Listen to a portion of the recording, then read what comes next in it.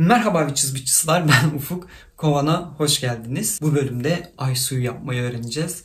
Her bölümde yeni bir bilgi öğreniyoruz. Bazen size ağır konular e, işliyorum. Bazense sihirden, büyüden ve bu tarz işte fantastik şeylerden hoşlandığınız için e, Wiccan tarzı, Witchcraft tarzı kendim de inandığım ve uygun gördüğüm büyüleri, tarifleri, ritüelleri sizlerle paylaşıyorum. Bu bölümde tam olarak böyle bir şey yaşayacağız. Onun öncesinde videoya geçmeden önce kanalıma abone olmayı, beni Instagram'dan takip etmeyi unutmayın ve bana destek olmayı lütfen unutmayın. Kanalıma ayrıcalıklı üye olan herkese de buradan çok teşekkür ederim. İstiyorsanız siz de katıl butonuna basıp kanalıma ayrıcalıklı üye olup fırsatlardan yararlanıp ayrıca bana destek olabilirsiniz. Şimdiden teşekkürler. Evet boş lafları geçtikten sonra diyormuşum. Evet bu bölümlerden sıkılıyorsunuz biliyorum ama maalesef YouTube işte. Sizinle en basit yoldan ay suyu yapmayı öğreneceğiz. Gerçekten bunu bilenler de var, bilmeyenler de var. Bu konu hakkında artık deneyim kazanmış. Ay suyuna yeni tarifler uygulamış kişiler var. Ama bilmediğiniz bir şey var ki ay suyuyla yapılacak olan şeyler, ritüeller ve ay suyunun kullanım alanları. E, bu bölümde onları da onu da işleyeceğim. Ay suyunun kullanım alanlarını da işleyeceğim. Öncelikle bize neler gerekiyor? Bundan bahsedelim. Bir cam şişemiz gerekiyor. Böyle gösterişli olmasına gerek yok. Herhangi bir cam şişe ya da e, cam kavanoz olabilir. Hani içine su, doya, e, su dolabilecek şekilde. Bir tütsü gerekiyor. Çubuk tütsü çok iyi olur. Nedenini de bahsedeceğim. Ve e, tabii ki tütsü yakmak için de çakmak. ha, ben böyle gösterişli şişelerden almak istiyorum diyorsanız size hatta birkaç tane daha göstereyim. Bakın ben de yüz vercesi var diyormuşum ve size hava atıyormuşum. Ee, çok güzel değiller mi? Tam cadı işi değil mi? Bu tür cam şişeleri Madame Coco'dan alabilirsiniz. Bu bir reklam değildir bu arada. Tamamen size e, yardım amaçlı. Ne denir buna? Amme hizmeti amaçlı e, bir şey. Madame Coco'da hatta bazen kampanyalar oluyor. Seviyorum böyle cam eşyalarını. Hani gidip bir büyücü dükkanı aramanıza ya da gidip yurt dışı sitelerinden e, bu tarz şeyler aramanıza, kendini kendinizi yormanıza gerçekten gerek yok. Böyle şeyler bulmak için biraz pratik düşünmek gerekiyor böyle witchcraft ürünler bulmak için. Hani e, sokak sokak gezin bu arada. Bunu da bilgilendirmiş olalım. Bu konuyu da daha sonra işleriz tabi. Sizi şimdi daha fazla canınızı sıkmadan hemen ay suyu yapımına geçelim ve daha sonrasında ay suyuyla neler yapabileceğinizi size anlatayım.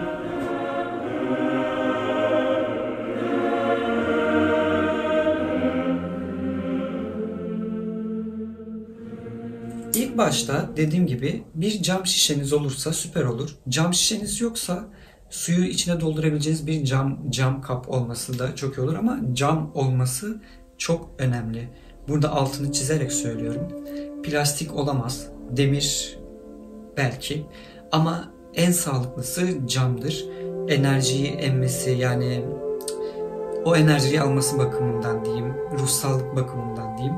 Hani bu şekilde açıklayabiliyorum bunu. Ve daha sonrasında tütsümü yakacağım.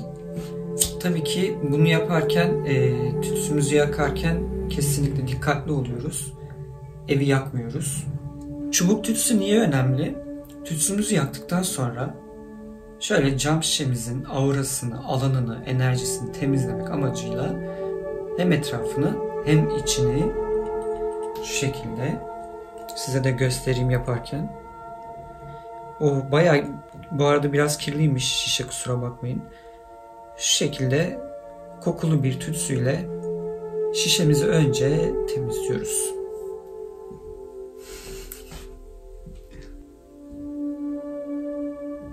Daha sonrasında bu şişenin içine içme suyu, musluk suyunu tercih etmiyorum ben. E, temiz içme suyu bence daha sağlıklı olur.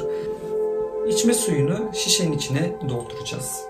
Şöyle hatta ben direkt suluğundaki temiz içme suyundan doldurmak istiyorum. Bir de size şöyle küçük bir ipucu vereyim. Eğer parayla ilgili bir çalışma yapmak istiyorsanız bu ay suyu konusunda içine küçük bir madeni demir para atmanızı öneririm. Ee, şuradan gözüküyor mu bilmiyorum. Aynen.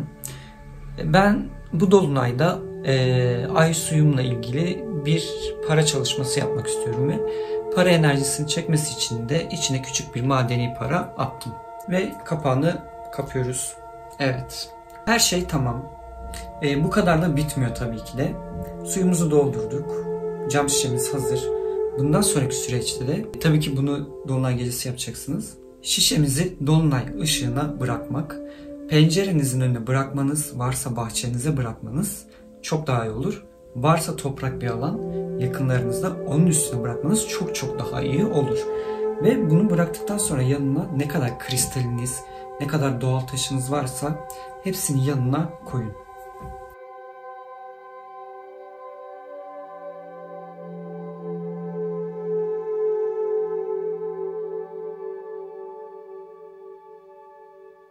Doğal taşın ne olduğunu bilmeyenler varsa bu tarz enerji barındıran taşlarımıza biz doğal taş diyoruz.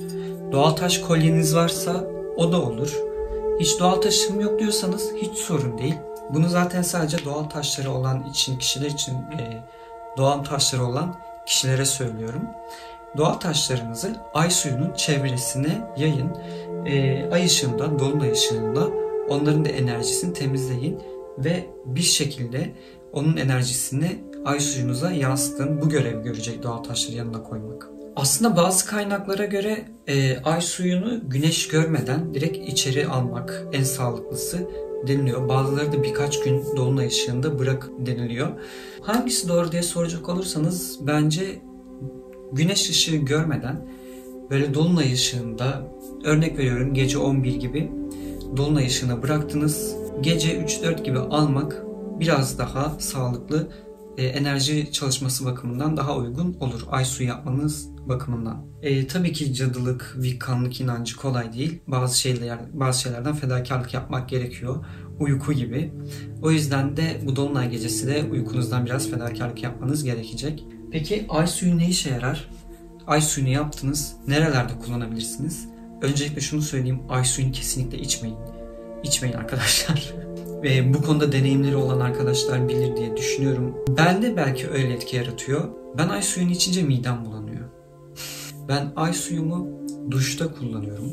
Duş alırken kullanıyorum. İşte en son duş aldıktan sonra başımdan aşağı döküyorum o ay suyunu. Ayın kutsal enerji barındıran suyunu. Ev işlerinde kullanabilirsiniz. Temizlik işlerinde kullanabilirsiniz. Temizlik yaptığınız suyun içerisine e, ay suyunu dökebilirsiniz. Bu arada sadece tek bir şişe yapmayın ay suyunu. Farklı farklı şişelere yaparsanız, e, fazla fazla şişelere yaparsanız ya da varsa elinizde büyük boy şişe varsa e, ona yaparsanız parça parça kullanabilirsiniz ay suyunuzu.